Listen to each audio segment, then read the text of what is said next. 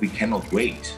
We cannot wait to leave you alone in the waiting room, as we did, unfortunately, sometimes with other countries in the past. We have to engage with you, with civil society. But it's a very good thing to, to use the momentum and to make sure that we do as much as possible uh, to bring Ukraine and other member uh, candidate countries closer to the EU. European Union is not able to defend itself, to protect its democracies and, and freedoms. Without Ukraine, we will be lost. Hello and welcome to Ukraine in Flames, a special project by Ukraine Media Center and NGO Euro-Atlantic Course. And I'm your host, Miroslava Yaremkiv. In February, the European Economic and Social Committee, EESC, launched the Enlargement Candidate Member Initiative status. As part of this initiative, 131 civil society organizations from nine candidate countries will participate in the work of the committee. 21 EESC enlargement candidate members were elected from Ukraine. This initiative made the committee the first EU institution to offer the candidate countries a specific opportunity for involvement and participation. The initiative is designed as a one year pilot project for 2024 and will be evaluated in December 2024. In today's episode, we're going to talk more about this initiative and why granting the status is important for Ukraine. If you want to learn more about this subject, please continue watching this video and subscribe to our channel so that you don't miss our videos in the future. The EESC is a unique forum for consultation, dialogue, and consensus between representatives from all sectors of organized civil society. These organizations often act as intermediaries between decision makers and the public, offering an avenue for people to play an active role in bringing about change or to support specific causes for the common good.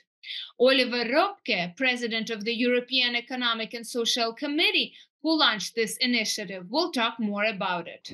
We here in the ESC, from day one of this uh, war of aggression against Ukraine, we were a strong supporter of Ukraine and of your civil society organizations. We will not stop here. We will never stop with this. Uh, you will have our uh, solidarity, and I think uh, the close cooperation, the strong work of the civil society uh, platform, our joint work there. Um, I think this is also very important because I believe that the future of Ukraine is in the EU, to be very clear. Um, we don't know when, but I think it's important that we have this political commitment. We were, I think, the first EU institution who was really calling for candidate status. And I think now we cannot wait we cannot wait to leave you alone in the waiting room, as we did, unfortunately, sometimes with other countries in the past. We have to engage with you, with civil society, uh, to help you to reach uh, the standards, not only the internal market standards, but also the standards in terms of fundamental rights, the rule of law, uh, the pillar of social rights. And I know how big this challenge is during uh, this war and martial uh, law. But I have to say, when we visited uh, Ukraine last year, I was really delighted by the resilience uh, of civil society organizations, also by the challenges uh, when it came to social dialogue, for example. We had a lot of concerns from trade unions, and I think this has to be addressed as well. This is part of the game, but this is an open dialogue, and we stand for this open dialogue here uh, in the in the ESC. Together, we will make sure that the advancement of the EU reform agenda goes ahead in full respect of human and labor rights, rule of law, transparency, equality, and through a genuine social dialogue. And uh, as I mentioned, we had our visit to Ukraine in November, and since then, uh, we officially launched our initiative for the enlargement candidate members I think this is a landmark decision uh, of the EESC, and I'm very, very glad to see that all candidate countries, including Ukraine, are involved in this initiative and that we could already uh, welcome civil society representatives at our plenary meetings. We will now continue with this uh, with this initiative, which means now it comes really to work. Selected opinions where uh, colleagues from candidate countries, including Ukraine, will be invited to participate, to contribute to the work. I really encourage you to use this opportunity. We together, we have to make this initiative a success. Must be a success and a role model also for other EU institutions. I'm confident that we will do this, and this could serve as a, I would say, as a good example for progressive and tangible integration uh, of a candidate country and of Ukraine into the EU. And I'm really glad that we are the first EU institution that opens its doors for also for uh, Ukraine. Now, Ukraine's representatives are included in the work of the committee and can prepare joint positions together with their European colleagues. In addition, this status increases the importance of the Ukrainian civil society platform, which is formed from the same thematic groups that are in the committee. There are working groups dealing with various thematic issues human rights, environmental protection, social policy, innovation, and political dialogue. The platform was created from three sectors trade unions, employers, and public organizations. More on the importance of this initiative for Ukraine and the European Union, please welcome EESC member, chair of the EU side of civil society platform, and vice president of the Union of Entrepreneurs and Employers, Marcin Nowacki. First of all, let me stress what is the core business of, of the ECOSOC, of the committee. So we uh, we work on opinions as a part of legislative procedure in the EU. So if there is a regulation coming out of the Commission, uh, it goes to, it goes to the committee, and then as a voice of of uh, civil society, we work we work out opinions too, uh, which supposed to be balanced between employers unions and and civil society organizations. So this is a very tangible, I think, impact and uh, uh and uh, product that is delivered across EU institutions. So your voice now is a part of of that uh, process. So basically, what is the enlargement initiative about? is that that we invite uh, civil society from candidate countries to join most important opinion school, the work on opinion school, uh, on a regular basis. So I think this is very specific, very tangible, uh, and, and very fresh initiative of President uh, uh, which is also a kind of, uh, you know, the message to other institutions I know the parliament, in a way, is is really uh, uh, jealous that this is now happening uh, in the committee. And the, the, great thing is that we have resources, we have the capacity because of you, because of your long-term involvement uh, within the civil society platform to deliver uh, that work, to deliver the, the, the uh, mm, specific opinions. And uh, one sentence about the enlargement itself. This is one, or I would say, the priority of, of the of the house of the ECOSOC now uh, to kind of boost the work on the on the enlargement. We see that you know, with given the circumstances and the, the large scale invasion, uh, we have the momentum to really push uh, for the enlargement, the, the pace is kind of, you know, uh, it is surprising to, the number of stakeholders. It's, it's, but it's a very good thing to, to use the momentum and to make sure that we do as much as possible uh, to bring Ukraine and other member uh, candidate countries uh, closer to the EU.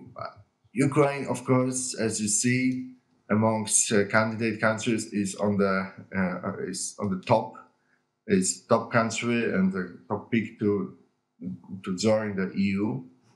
So we have uh, definitely uh, lots of responsibility to to deliver, uh, lots of uh, work to accomplish in terms of of being closer, understanding institutions, EU institutions, getting ready of, of, Ukrainian institutions, civil society, employees, unions, of course, government, to, to be in line with what was what is happening uh, in Brussels and across member states, because at the end of the day, it's all about members uh, and, and, and, understanding also socially, politically, economically, the situation in member states uh, is kind of vital to uh, uh, also to, to, make sure that the enlargement process is happening. It's not stop. Uh, it's, it's not stopping, um, and that we have the, whole mapping of of stakeholders that can support the process. EU candidate countries need more than just empty words. They need concrete actions. It is necessary to work more closely than ever with civil society in the candidate countries to ensure that the enlargement members can start their work from 2024. This will help rebuild Ukraine through joint efforts, laying the foundation for a strong and dynamic civil society, and start Ukraine's European future today.